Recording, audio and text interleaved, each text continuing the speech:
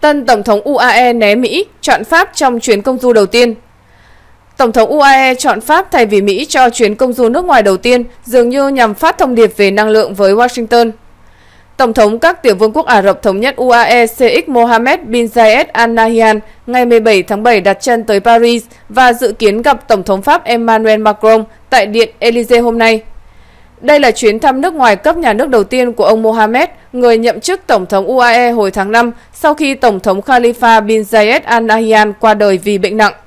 Chuyến thăm Pháp của ông Mohammed diễn ra ngay sau chuyến công du đầu tiên của Tổng thống Mỹ Joe Biden tới Trung Đông, vào thời điểm phương Tây đang nỗ lực vận động Ả Rập Saudi và UAE bơm thêm dầu nhằm kìm hãm giá năng lượng tăng vọt.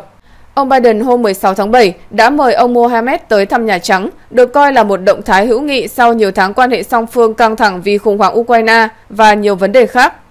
Tổng thống Mỹ kỳ vọng chuyến thăm sẽ diễn ra trong năm nay. Trong khi đó, quan hệ giữa UAE và Pháp phát triển trong những năm gần đây.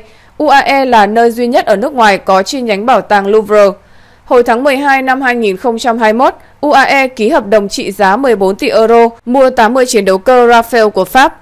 UAE là nơi có cộng đồng người Pháp và người gốc Pháp lớn nhất vùng vịnh. Al Gadel, chuyên gia về Trung Đông và Bắc Phi của Viện Nghiên cứu Foundation John Jaurès tại Paris, nhận định chuyến thăm Pháp thể hiện mối quan hệ cá nhân hữu hảo giữa ông Macron và ông Mohamed.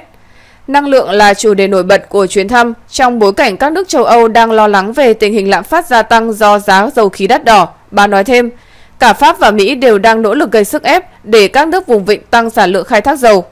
Khi chọn Pháp thay vì Mỹ là điểm đến cho chuyến công du nước ngoài đầu tiên với tư cách là Tổng thống UAE, ông Mohamed có thể đang gửi tín hiệu tới Mỹ rằng chúng tôi không vội vàng đáp ứng yêu cầu của Washington bằng mọi giá, Gardel nói.